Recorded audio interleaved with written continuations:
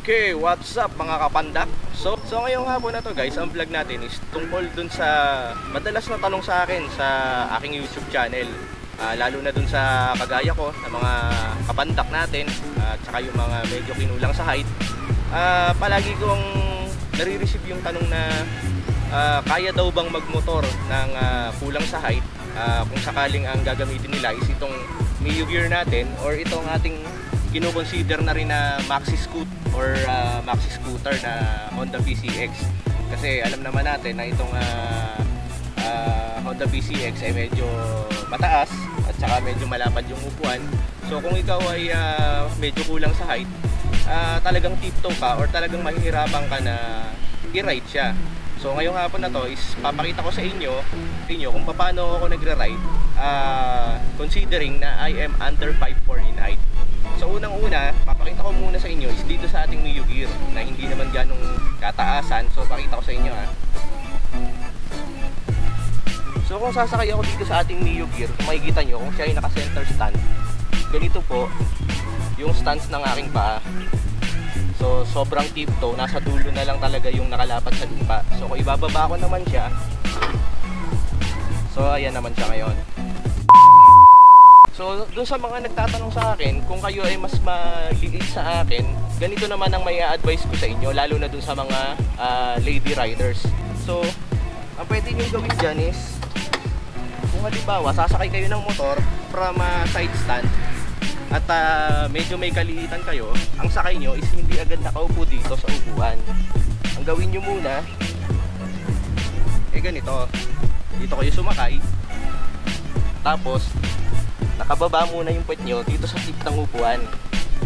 Para mas na aalalayan nila yung bigat ng scooter nila or ng motor nila. So ayan, kung makikita nyo, pag dito ako nakaupo sa tip ng upuan, dito, abot na abot ko yung ground.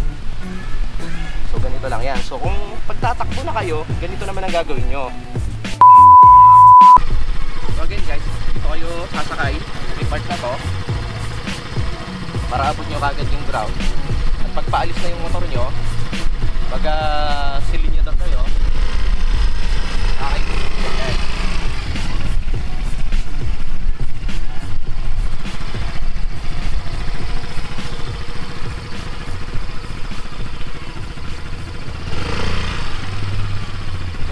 guys ha. So ayan, nandyan yung motor nyo. Dito kayo sumakay. Hindi po dito ha, hindi ganito ha. Kasi pag ganito ginawa nyo, at mas maliit kayo sa akin, mahihirapan kayong magbalanse. Kasi, konti na lang yung nakalapat sa lupa. So, mas advisable kung mas maliit kayo sa akin, dito kayo sumakay, at nandito lang kayo sa tip ng upuan.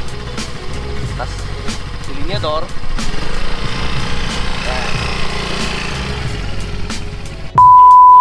Ganito naman ang gagawin nyo pag patigil na kayo. So, kung nananakso kayong ganyan, pag preno, slide lang ulit pupunta sa unahan ng upuan para mailapat niya uli yung, yung mga paa. So, ulitin ko ha.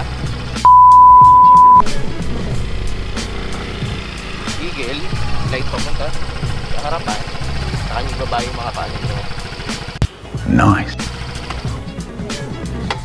Ayun, ganun lang guys kasimple. So yung mga nagtatanong sa akin, lalo na yung mga baguhan at saka mga lady riders, ganun lang po yung technique kung mas maliit pa kayo sa akin.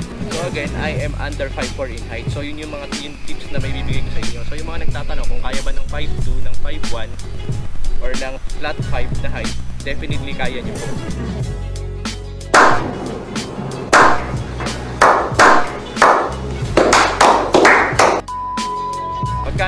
Maxi scooter ang gagamitin nyo or yung mas malaking scooter. Naman guys, pagka naman mas mataas na scooter, ganun din naman ang technique na gagamitin nyo. Ganyan. Mas advisable po kung maliliit lang kayo or uh, panda kayo, ibaba nyo muna yung side stand, saka kayo sumakay. Again, kung mas maliit kayo, dito muna kayo sa may bandang tip na, upo, na upuan. Huwag muna po kayong uupo dito kasi pag umupo kayo dyan at mas maliit kayo sa akin, halos hindi nyo na maabot yung lupa kasi gaya ko, ayan o, dulo na lang ng paa ko yung nakatukod sa lupa. So again, gagawin nyo, kung gumagamit kayo ng maxi scooter, naka side stand, sumumamba at dito muna umupo sa dulo ng upuan. Yan. At pagpaalis naman, ganito.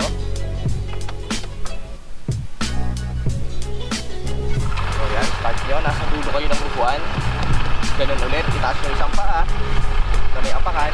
Saka mag-drive. Pag naman pababa kayo, ganito naman yung gagawin nyo. So again, pag alis nyo, nandito muna kayo sa tip ng upuan. Yan. Tapos yung paa, isang paa, nakaalala yung isang paa naman, kabilang paa nyo. Babante, nakaulit mo ng ayos.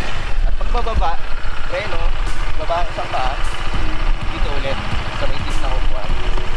So sa ganitong technique, kahit mas maliit kayo sa akin, kahit kayo ay 5'3", 5'2", or 5'1", or flat 5, definitely maaabot nyo yan. Kasi nandito naman kayo eh. Tapos meron kayong enough na strength ng binte para ma-alalayan yung motor nyo kahit pa naka-max, naka-max speed kayo. So ayun, ganun lang guys. May mga nagtatanong din, paano naman nyo aakayin yung motor nyo pagka kulang kayo sa height lift? Well, pag ganun guys, medyo mahirap talaga lalo na pag ganitong max speed kasi mabigat siya.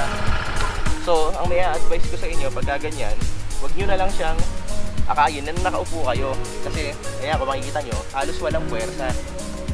Kasi konti lang yung naiapak niya sa lupa. So, mas maganda pagka ganyan, bumaba na lang kayo, tapos akayin nyo na lang na ganyan. Halimbawa, i- ipipihit nyo ganyan, akayin nyo na lang.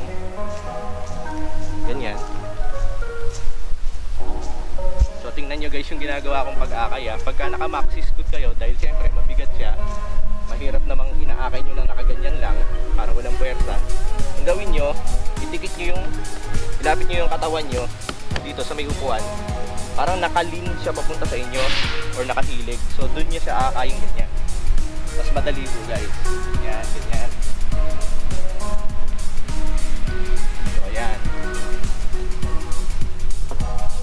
mas madali siyang akayin as compared dun sa nakasakay ka tapos magmamaniobra ka ang hirap ayan o ang tagal nyo bago makapagmaniobra pag gaganyan mas madali po yung nakababa kayo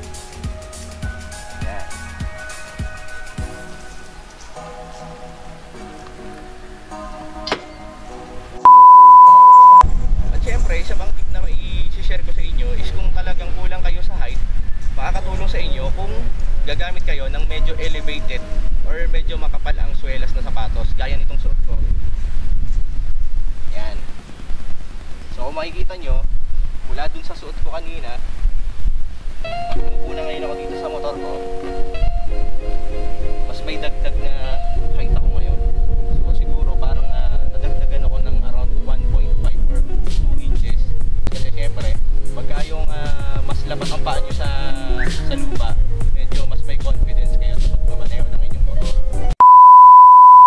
So lang guys.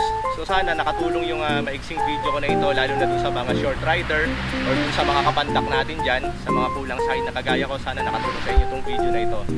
If you're not still subscribed to my channel, please do subscribe. Please like and share and please hit the notification bell para maging updated kayo sa mga ibang videos na ilalabas ko. So again guys, I hope you all ride safe. I hope you all stay safe.